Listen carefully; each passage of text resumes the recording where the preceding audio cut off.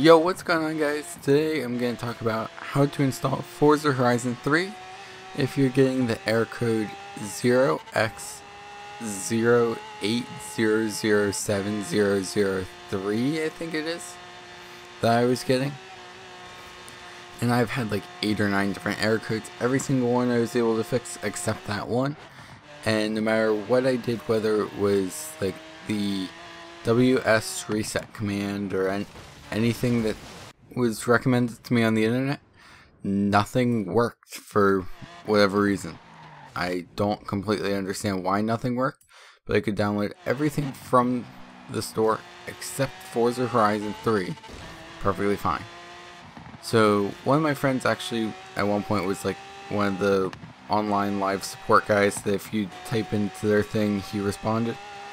So, he was able to help me figure it out because he knew all the error codes and whatnot. So he went in, saw that actually something in System 32 was acting up, which was kind of weird. So I did a, um, I think it's reset?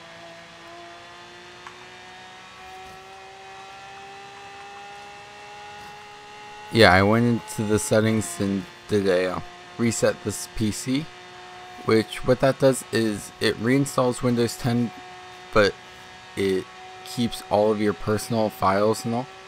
So like all my drivers and all were still there, but like half the programs were there, half were missing. Like for my keyboard and mouse, the software was missing. I have a Corsair keyboard and Logitech mouse for uh, anyone interested in knowing that if they've not followed the channel for very long. But yeah, like, you know, the NVIDIA control panel was still there, but the NVIDIA Experience app was not there anymore. So I reinstalled the NVIDIA Experience and then found out that the drivers were installed, which I thought was a great thing already. So yeah, then I went into the store and I was able to install Forza Horizon 3 just fine.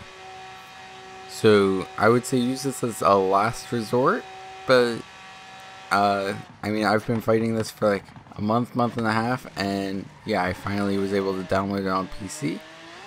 So yeah, uh, don't be too too afraid to do a reset this PC. It doesn't really affect that much. There's a few things that are like not working that great, like um.